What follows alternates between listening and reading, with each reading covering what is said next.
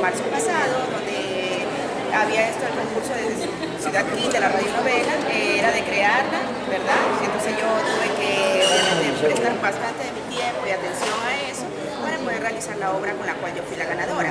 Eh, para mí fue, o sea, no hubo obstáculos, pero sí, como le decía en el discurso, le cayó un poquito mi fe cuando escuché que una de las reglas del grupo era, o sea, reglas del concurso era hacer un trabajo grupal, pero yo soy muy sincera en eso, a mí me cuesta relacionarme socialmente, entonces eh, yo le insistí a la superintendencia si podía participar yo sola, me dijeron, adelante, puedes, y lo logré, fue mucho esfuerzo, fueron varias noches, sin dormir, leyendo, releyendo, viendo que iba, que no iba, hacer que canse en cinco minutos y yo no, como yo decía, no tengo un estudio profesional con fumetas de huevos ni un micrófono de última tecnología, sin embargo me tocó hasta emular una voz masculina, tal y estoy contenta por haber ganado el concurso.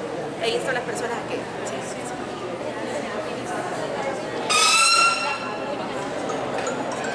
Claro que sí, en el caso mío este, fue.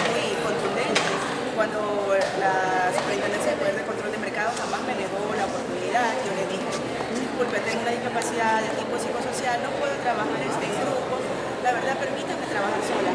Siendo otros me hubieran dicho, no, estás llorando una reglas, no puedes.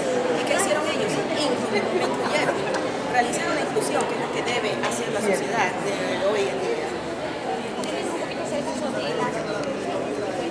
El síndrome de Asperger es un trastorno del espectro autista, es decir, tenemos eh, rasgos autistas, pero somos personas altamente emocionales.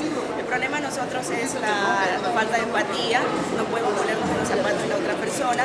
Por lo general nos miramos a los ojos, tenemos problemas para entender las ironías, los sarcasmos, los dobles sentidos.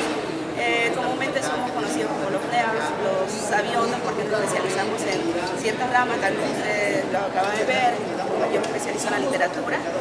Eh, básicamente es eso, entonces la sociedad lo que hace es calificarnos de raro, imaginarnos,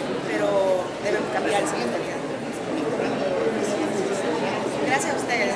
Gracias.